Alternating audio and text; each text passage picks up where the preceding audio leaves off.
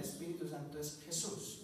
Porque Jesús una vez que sale del ayuno dice, y Jesús lleno del Espíritu Santo salió por Galilea.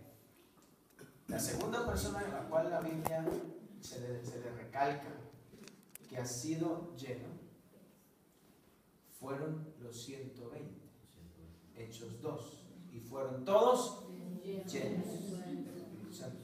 La llenura del Espíritu Santo no es simplemente esa es la señal física.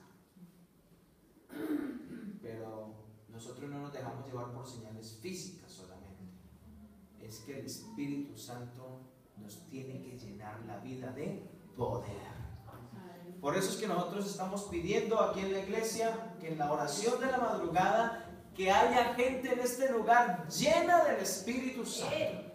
Señor, llena de tu Espíritu Santo al pastor, llena de tu Espíritu Santo a los líderes, llena de tu Espíritu Santo a los hermanos.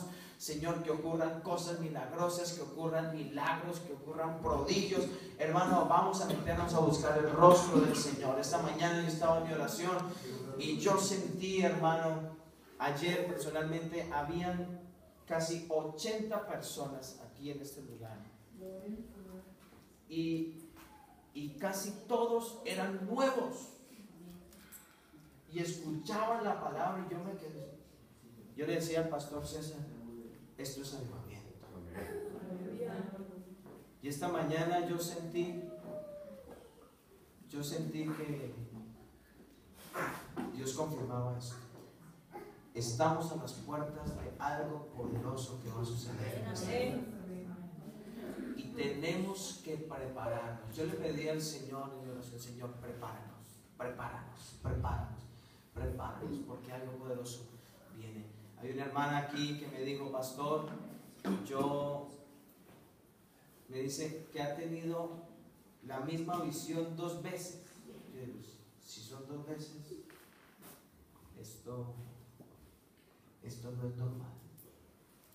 Pastor, yo he visto que esta puerta se, se abre y entra gente, y gente, y gente, y gente, y gente con hambre de escuchar la palabra, y gente. Yo digo, es que eso va a pasar. Pero eso va a pasar cuando en nosotros haya un derramamiento del Espíritu Santo. Que el Espíritu Santo nos toque, nos cambie, nos purifique, nos Así que hermanos, nos vemos a partir de las 3 de la mañana. De 3 a 7 de la mañana vamos a estar orando la iglesia en el nombre de Jesús. Vamos a buscar el rostro del Señor y vamos a decirle, Señor, trata con tu iglesia, llénanos con tu presencia. Y seguro, hermano, que donde hay un pueblo que ora, seguro que Dios va a hacer algo por nosotros en el nombre de Jesús. Una alabanza al Señor. Bueno, hoy después del culto, bueno, vamos a tener la media mañana y vamos a tener nuestro culto al, mismo horario en el nombre de Jesús. Así que eh, les agradecemos a todos. Hoy comenzamos el culto un tanto tarde porque pues el día de ayer la programación terminó también bastante tarde. Entonces, solamente por hoy comenzamos a las 11, pero normalmente la dominical comienza a las 10 de la mañana. Bueno, hermanos, ya el resto de anuncios se darán en el, en el segundo culto.